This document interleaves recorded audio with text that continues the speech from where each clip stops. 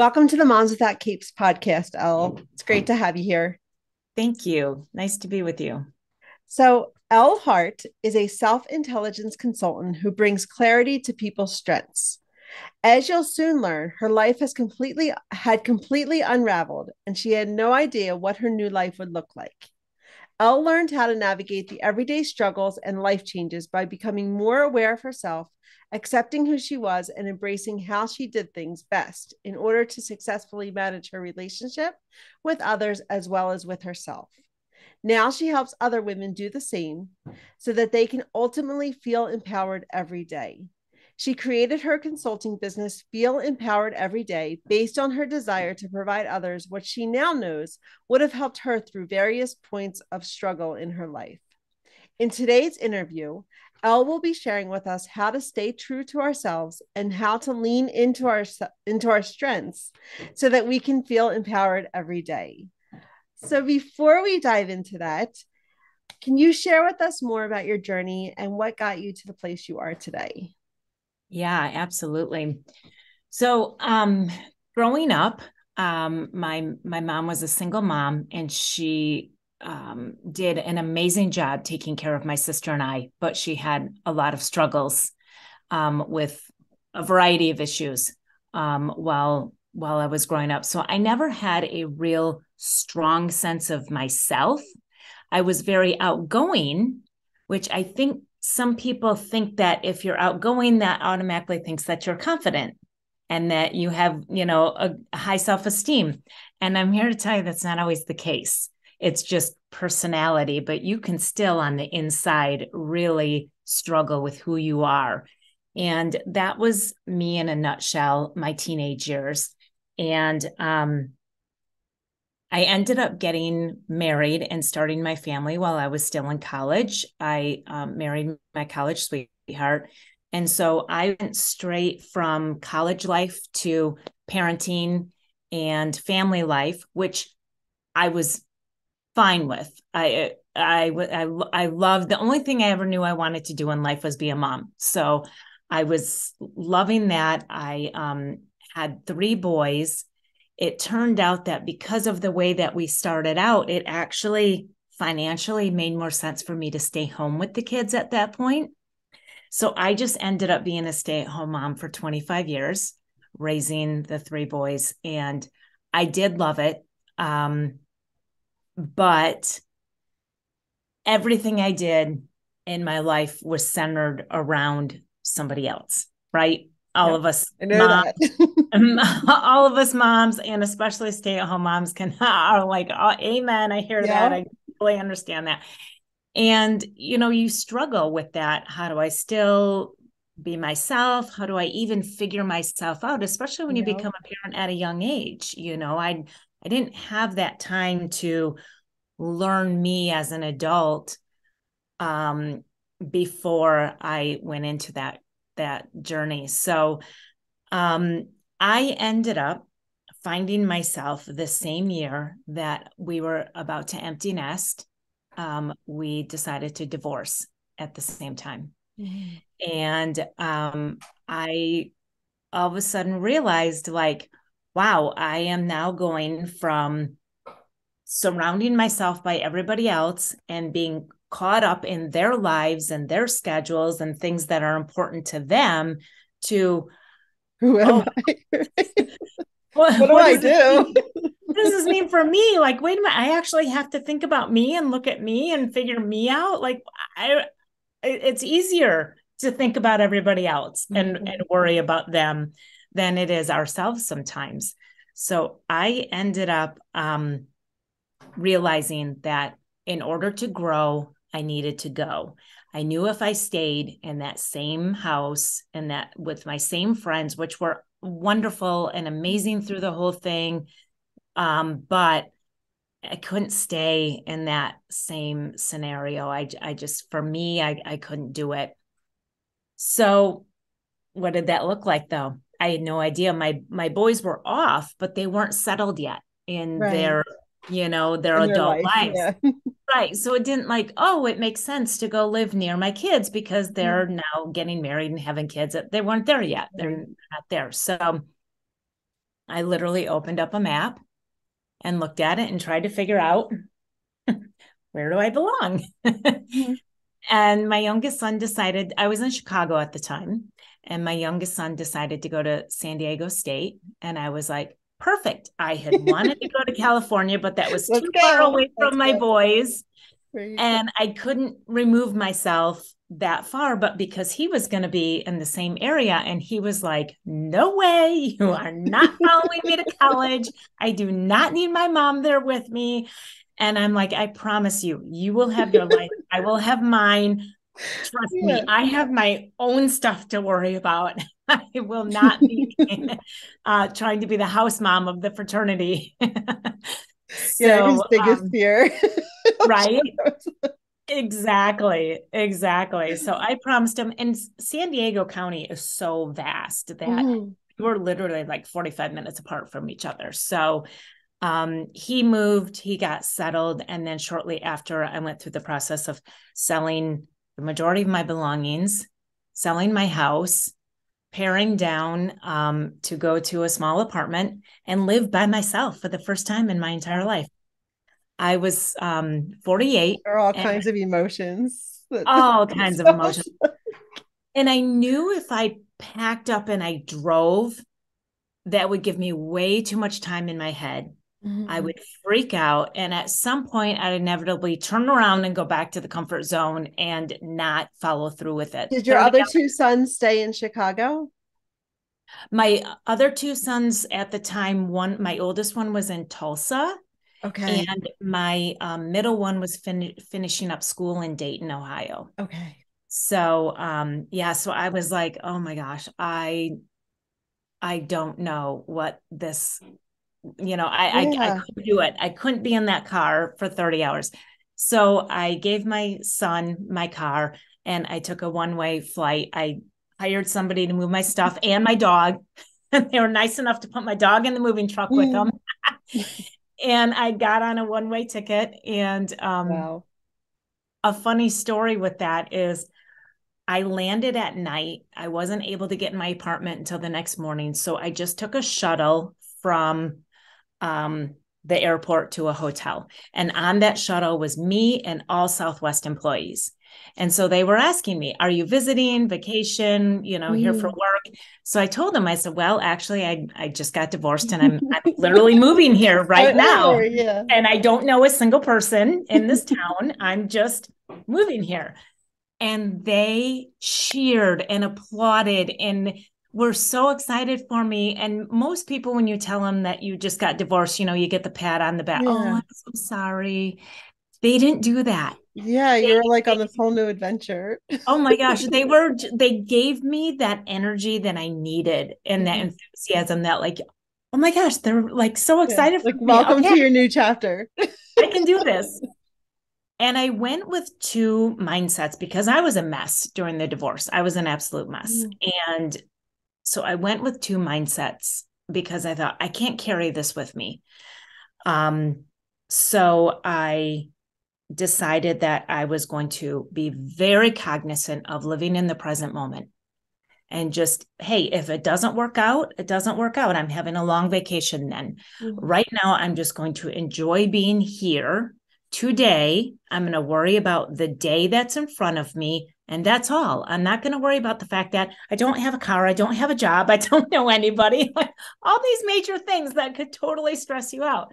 I'm like, nope, I can't go there. And I'm not going to go backwards in the past. I had spent a year and a half wallowing, figuring myself out, going through all the muck, and I I'm going to leave that behind me now, but I'm not going to have anxiety about the future either. I'm going to be right here in the present moment. And then the second thing that I went with is I'm going to let go of expectations. Mm-hmm.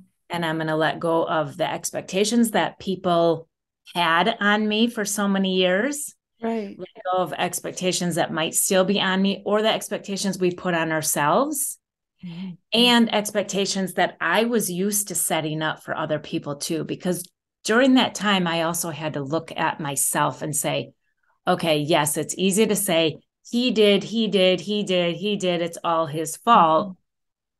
but that really wasn't going to get me to grow and evolve the Right. way that I needed to, I had to look at myself and say, how did I contribute? What did I do? What could I, how could I look at myself differently? Um, and drop the expectations and, and go forward. Yeah. I love that story. Oh, you have an amazing story. Now, how long ago was all of that? Like, how long Yeah. did you move to California? The divorce started in 2016 and I moved in 2018. Okay. Okay. Mhm. Wow. Super inspiring. So, all right. So let's jump into what we're talking about today because you brought up a lot of things that I'm sure are going to be integrated into today's into today's conversation. Um, a lot about those expectations and being able to live in the present, take certain steps that you have been able to master or that you're still working on. I know we're all Absolutely. progress, right? 100% still working. we can hear your story and be like, oh, you've arrived. But as we all know, we're continually like working and striving to become our best self. So uh, we want to learn from you today. And how do how do we begin to because you went from like that stay-at-home mom. I was a stay-at-home mom for 14 years. And Okay. that was really when um 12 years in was when I really started that questioning of like giving myself permission to like do things for myself, like outside of my role as mom and wife, and and really diving into like doing that self exploration and reflection piece. But I want to know how did you start like finding yourself like aside from like you took this huge like you completely t- removed yourself from one you know physic physical environment and put yourself in this whole new place. Mhm. but what did that look like for you as far as how are you able to like recognize or find who you were? Like just just Yeah. who you are i was going to say like your strengths and and your weaknesses like all of those things that make you you you you you like those unique pieces. What what were some of the things or what can you offer to us Yeah, well, I had let for so many years my identity and my worth be defined by other people. Mm. And I needed to figure out how to define them in myself. And like you mentioned a minute ago, it's still a struggle for me all the time. It really is. And um, I just tried to quiet myself and and listen and pay attention to what what made me feel good what made me feel stressed? What how was i talking to myself in my own head? Was i was i saying my own words to myself or were i was, was, i someone else's repeating voice. Yeah. Exactly. And that's still hard to this day. I still hear that voice in my head unfortunately. But um I've, I've gotten better about how to go about it. And so i just really leaned into trusting myself and and giving myself grace that for the fact that I might make some mistakes and that's going to be okay yeah because then I can learn from them or it just means that whatever that was wasn't meant to happen and so then I can take a different direction and and go that route instead. Um so I, I did that but then I also took like a whole variety of those assessments. The Myers Briggs, the Okay, okay, the personality, yeah. all that kind of Yeah. stuff, you know? strengths right all of it and you know it gave you gave me a little glimpse Mhm. but none of them really had like this profound impact on me well i had taken the clifton strengths and um again found it interesting but that was kind of Mm. it and i was attending a leadership conference for um before I got divorced, I had started dabbling with like doTERRA essential oils. Mhm. And so they have different conferences and different things going on, right? So I was listening to their speakers and I thought, okay, here comes somebody else talking about building their business and the whole thing. This guy got up on stage and he started talking about the Clifton strengths that had nothing to do with essential oils or network Yeah. marketing or any of it, just people, right? right And I'm like, hold on, wait a minute. This is making so much sense. Like you are speaking to me about it instead of just reading some report or, you know, whatever. And the results made so much more sense when I listened to the way that he talked about him.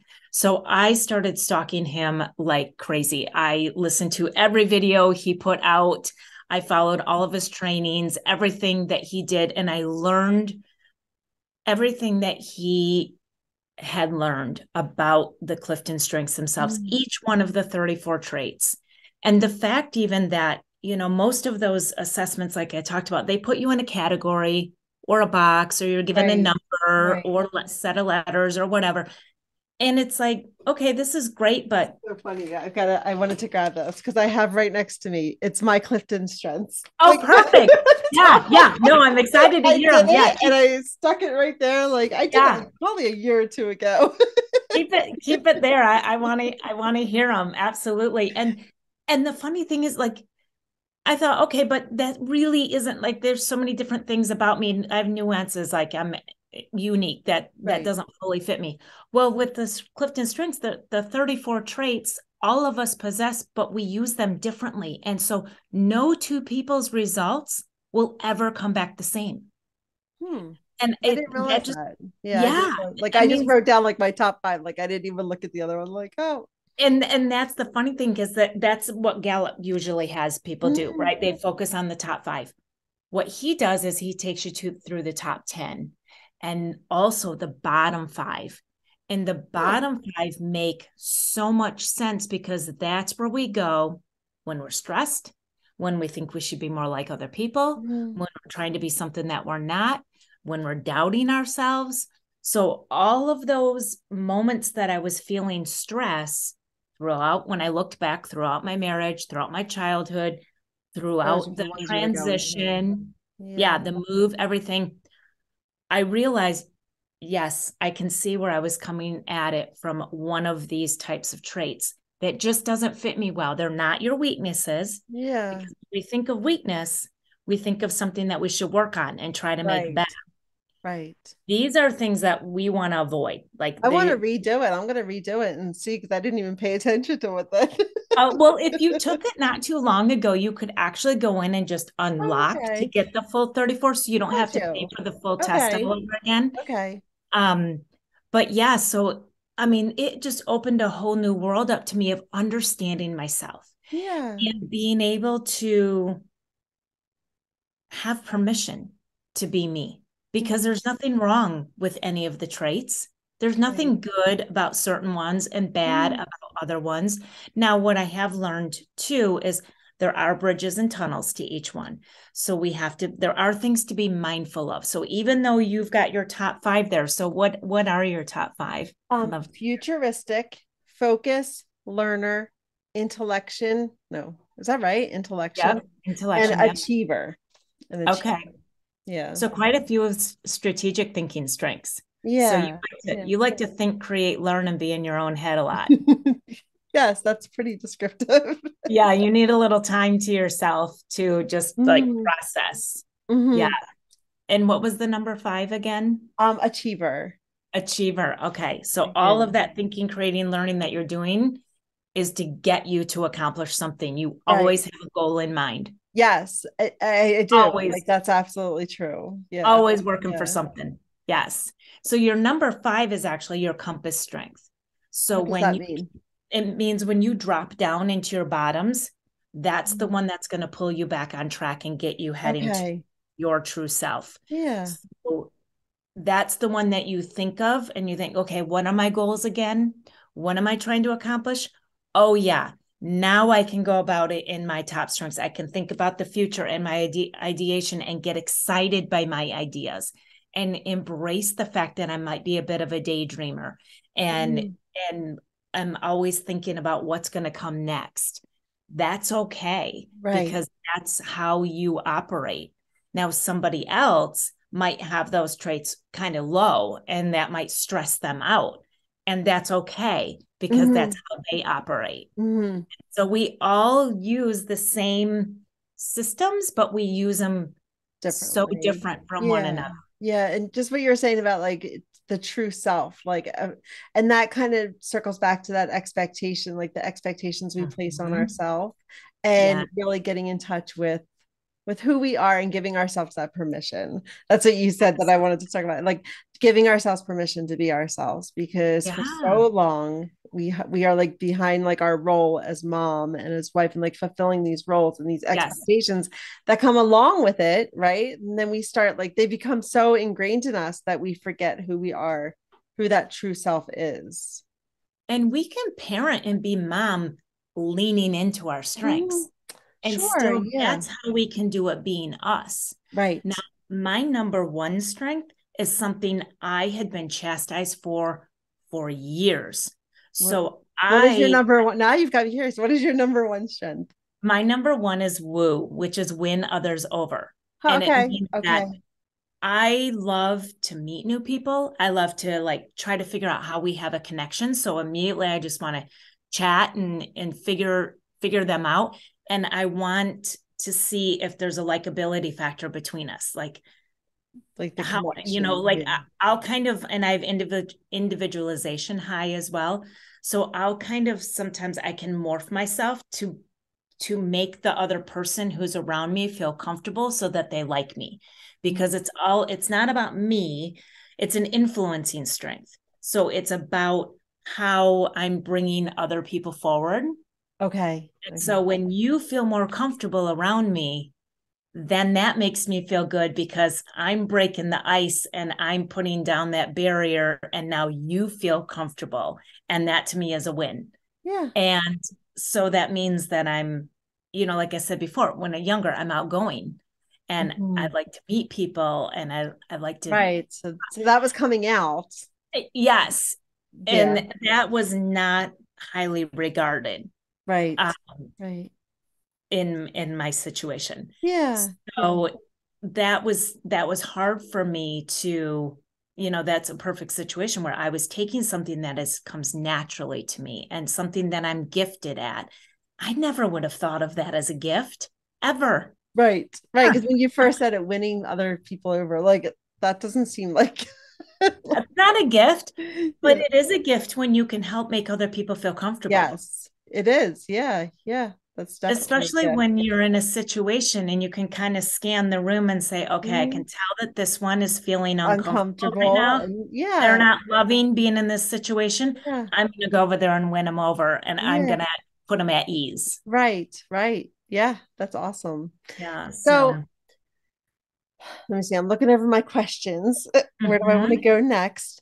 Um, so you talk some about um emotional intelligence right? Yeah. and I, I feel like that what you just said was as your biggest strength has a lot to do with emotional intelligence. But talk can you talk to us more about how, what that has to do with strengths? Like yeah when we, when we improve our emotional intelligence we get more in touch with with what our individual strengths are. Right exactly exactly. And like i said i i was going through some self work to realize where where was i falling short what what do I need to work on? And um, aside from later realizing that a lot of what I was doing was coming from my bottom strengths, um, I also realized that I didn't have the highest emotional intelligence. And funny enough, emotional intelligence accounts for 80% of success in life across the board. So for it those doesn't matter if it's your personal explain, life, professional life, can you explain for the listeners like if they don't if they're not really sure what that means? I know that's like a, a big buzzword nowadays but like those that aren't familiar with emotional intelligence can you yeah, tell a little bit more about what that is? To put it real plainly it's like the soft skills. It's the skills that we used to not think were very um important. important. Thank you. Yeah very important.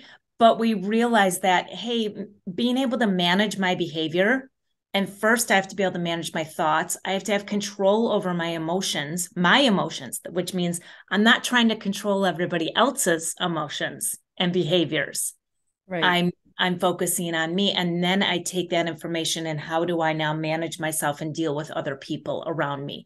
So if you're in the office place and you're a hothead or everything that somebody says causes you to be super sensitive and have a meltdown, you don't have a strong emotional intelligence then and that's going to affect your job and your success.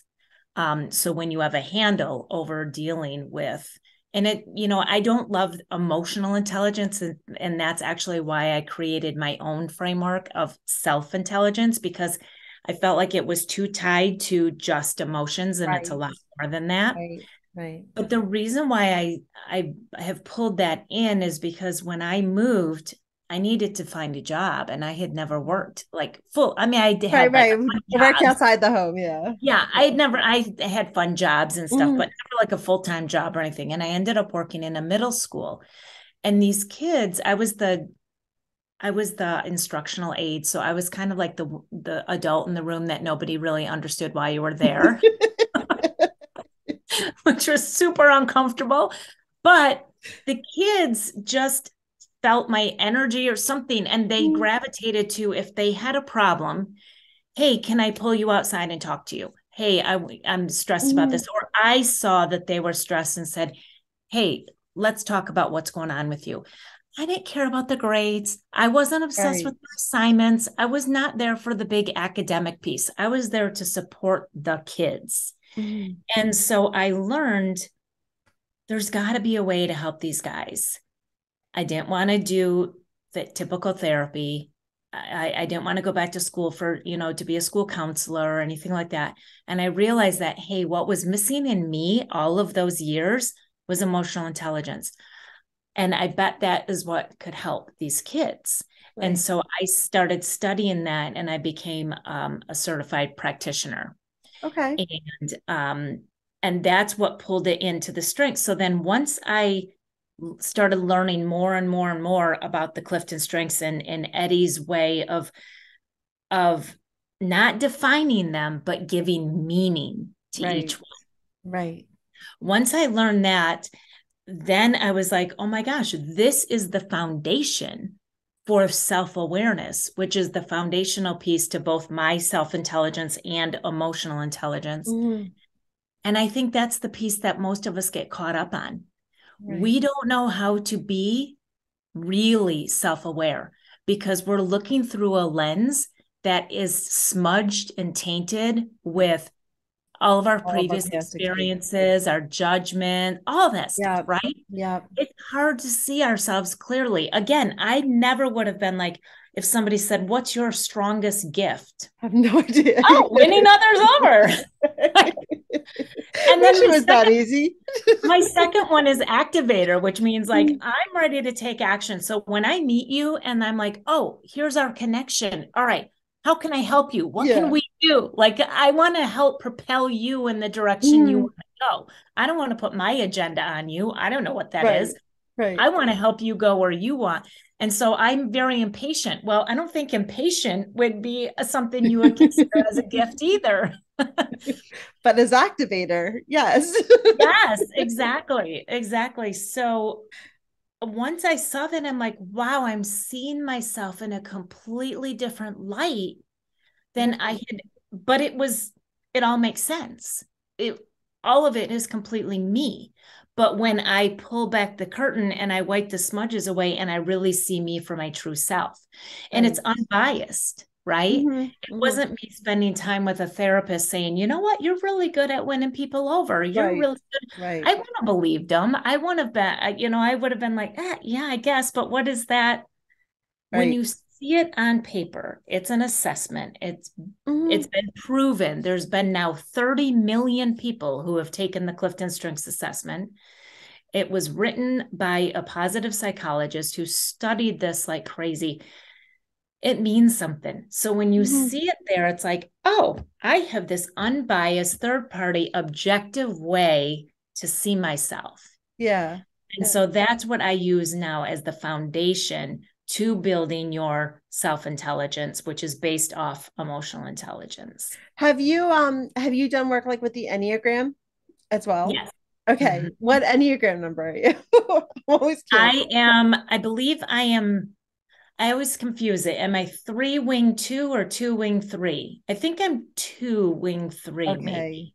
And what is two? Because I'm a three. I don't even know what my wings are. I, I should go back and look. Yeah, but I haven't. Is I haven't two the two's not like the peace one, is it? I don't think What- so. I'm okay, definitely- okay. I don't do well. Um, I have harmony low. I don't do well when I to become the peacekeeper. I get Okay. manipulative when I do that, and that's not good. Got you. Okay. Um, I think it's more like the it might be the helper one, okay. maybe. Okay. I don't. Re- I don't yeah. remember. Yeah. No, I'm just curious if But I- that like because that, that if that ties into. one of my recent clients uh, is is very heavily um involved or whatever in the enneagram Yeah. And oh yeah, you I can. People are really like into that. right was like, exactly I don't even know what wings I am. I just did like because I I love doing those kinds of assessments and Right? they all really like some of them really validate like different things like that I've noticed about myself and I'm like Mhm. yeah like I can see that I can see where they the, that comes out as that answer. right exactly exactly so i asked her i said how does this play like what with the information i'm giving you what is that playing and she said it basically is just like that really detailed it supported everything Mhm. that came back in her enneagram and that she leans into with her enneagram number but it just gave so much more detail and personalized explanation of her Right. enneagram right you know yeah so it just kind of took it a lot deeper i guess Mhm, be a mhm. way to describe that Okay. So, how do we, taking back into the mom mode, how do we stay true to ourselves when we are in mom mode? Yeah. So again, you, you know your strengths, you understand them. And and again, like I alluded to, Gallup gives you a huge report when you take them. But those are definitions. And they don't worry as much about what other strengths are around it. So, like I said, I have activator number two. Well, one of my clients is activator number two, but her activator shows up a little bit different than mine does because of what other strengths are around it. Right. And so all of ours means something a little bit different. So I bring a very personalized meaning to each of them. So when you know that and you understand those things, then you parent and you go in mom mode, leaning into your top strengths, and you become aware of when you're dipping into your bottom strengths. Right. Right. Um, and that's going to help you be a mom as your true self. Like I have empathy as number three. It was always, and it still is, Mhm. very natural for me to put myself in my kid's position and Mhm. really feel and understand where they're coming from yeah. with with things. That works for me because that's what I naturally do. Now, So I you're also- able to parent using your strengths. uh, totally, Yeah. totally parent using your strengths. But you have to be mindful of each of the strengths too. Even though empathy is high for me, it's natural. I do it well. I serve myself and other people when I lean into it. But I have to learn to set boundaries Mhm. because you can take too much of a good thing is not a good thing Yeah. Yeah. sometimes you know each one of these you have you have something to be mindful of too and that's something Right. that i walk through with my clients as well like okay even though i feel your pain i understand these things i have to set a boundary to it and i caught i did that way too much with my ex Mhm. I, I put myself in positions I shouldn't have been in because of my empathy. I did, was not good at setting boundaries. right. So now that I'm aware of that, I can say, okay, I'm going to lean into my empathy strength. I'm going to use this and I'm going to love on it, but I'm going to be aware of it too and Yeah. how Yeah. how to how to really use it. They're like tools, right? It's like tools. Right. How to use the tool, but just do the things that come natural to you and listen to yourself as to what feels good. Hmm So, what uh, final advice can you offer moms who may have felt lost in their mom hat and feeling like they just don't, they're not empowered Yeah. longer?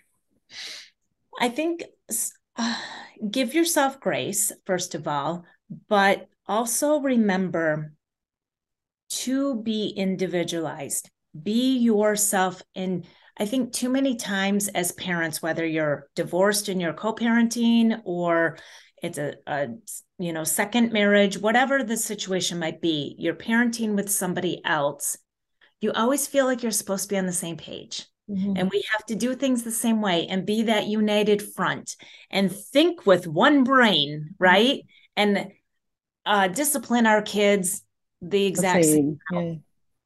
No that is going to cause stress in your family when you think that way. Instead, if it's all about respect. So I teach people to replace those expectations with respectations. So come from a place from respect. Realize that we each have differences. My kids are going to use their own process and they're going to lean into their own strengths. Mm-hmm. They're not meant to have my strengths and do things the same way that I would. And so mm-hmm. when they get a little bit older and you can understand those about them, then you can support your kids in leaning into their strengths and how they do things best so that they don't grow up not having a strong sense of self and get lost and you know that whole thing. So it's important to do for yourself. It's important for you to do as with you and your partner. And, and then it's as important to do with your kids as well. Just realize that you're all different and you're meant to be different. Yeah. That's great advice. Great advice. So, what do you do for fun, Elle? oh my goodness. Um, well, right now, what I'm doing for fun is I bought a 1910 farmhouse here in the town that I'm living in. I'm no longer in California, I'm in Ohio. I don't know anybody here once again. and I'm opening a co-working space. Oh, that's awesome. How because. I work from home by myself. That doesn't serve me or my strengths well. I have too many relationship building strengths high. I don't yeah. do well with that. I need the energy and I need to be around other people. So yes, I'm opening a co-working space that's also going to have like business training in it and um, that's a way that I can lean into my strengths and serve others, meet others, be helpful. Um, so that is my fun right now because I get to get in the building next week and start decorating it. So yeah. wow, that's a huge endeavor. They yes. Did, um here in my town that I live in, they I live in Billings, Montana. Okay. They have downtown, they renovated an old bank and so nice. the vault is still there. And they did that same thing. Like they made it into like an entrepreneur center and they work mm-hmm. with like, I know the small business and development officer in there, but like mostly it's a co-working space. They have, um, did you ever hear 1 million cups? No, it, it's like it, they have chapters all over, but every week they we meet. It's like one over one million cups of coffee or whatever is like how okay. they and um we have like I spoke at it a few months ago, but they have different people from small businesses and people that are starting up their like entrepreneur adventure and and talk about their business and then everybody gives feedback and suggestions and ideas of how to grow. Oh, and I love that. I'm gonna have to write up. That look it up yeah. because that might be something that you might want to start in your new establishment. Yeah. Because and, I plan to have lots of resources like that yeah. for people. And I've gone to like website trainings there and like just all kinds of different events different mm-hmm. they bring in mm-hmm. like conferences not conferences yeah like trainers yeah venues like no not venues vendors venues. yeah um and just different things that they have going on there and it's a great place to go i go about once every two or three weeks and just go and co-work and just like right. talk with other people like there's such a great energy Yes. There. So I I'm so excited for you. I love that you're Thank you. Thank you. Oh my gosh. Yes, I'm very excited. I had joined one right before I moved from San Diego and I m- really miss being able to go to it because it's nice to like you said you go every couple weeks, right? Yeah. It's nice just to have the flexibility. I'll go when I want and you know there's no yeah. commitment so yeah yeah yeah and to be able to like just talk with other people that are in the same mm-hmm. space and like going through very similar you know, yes. On a similar journey. There's definitely I love I love it. So oh, that's awesome. All right. Okay. And oh. now do you have a book that you could recommend to our listeners? Yes, I would say the four agreements. Okay. okay. Yeah. Yeah. I I love it because it's it's a straight to the point book. It doesn't go on and on and on. Yeah, it's I, only like this thing. yeah, exactly. I mean, I also would like to recommend my book. I guess I should have yes. first. the Feel Empowered Everyday By Bullet Journal. What is it called? The Feel Empowered Everyday Bullet Journal. Okay.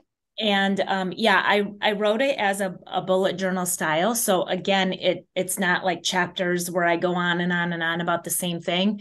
There's just quick to the point. It's very interactive. It's very colorful for the visual learner um, there's a lot of different takeaways in there i've got qr codes that you can snap into a video and then it has a tracker at the end for your emotional intelligence each day to just help yourself stay mindful so yeah, that. But aside from my okay. book, like the four agreements would be a suggestion.